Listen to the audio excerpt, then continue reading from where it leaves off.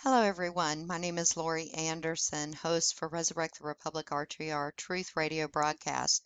Formerly on RBN Network, we are no longer on RBN Network.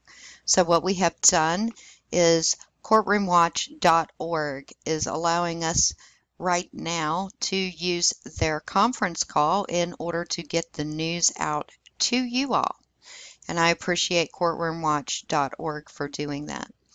So what we are going to be discussing this evening, 9 p.m. to 11 p.m., we're going to be going over Committee to Review Law Enforcement's Policies on Facial Recognition Technology. This is one I don't think you're going to want to miss. The Federal Bureau of Investigations, along with the IRS, was caught, and they've been using the facial recognition system without probable cause, without warrants, and on a lot of unsuspecting Americans. It is one that you're definitely going to want to join in on. Let's also remember that you have an unalienable right from your first breath to privacy. The Fourth Amendment to the U.S. Constitution solidifies that right and only confirms it. It doesn't give you that right, it just confirms it.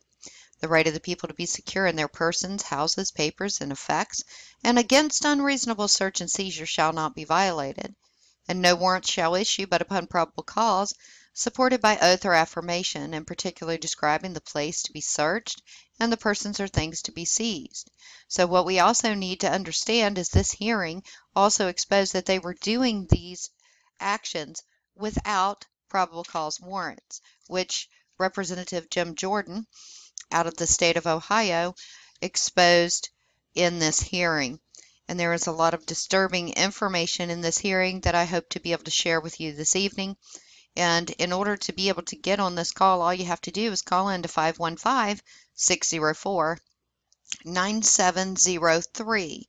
There is a code that you are going to have to use to get onto the call, and that code is 754153 pound. Once again, that number is 515 604 9703. And your code, in order to be able to come onto the call, is 754 153 pound. Eric Hughes Jones of Courtroom Watch will also be joining with me this evening while we discuss the situation that the mainstream media has refused to report on, and I haven't heard of it or about it from any of the other alternative media either. So I hope you will join us there. Thank you. God bless you. Hope to see you tonight.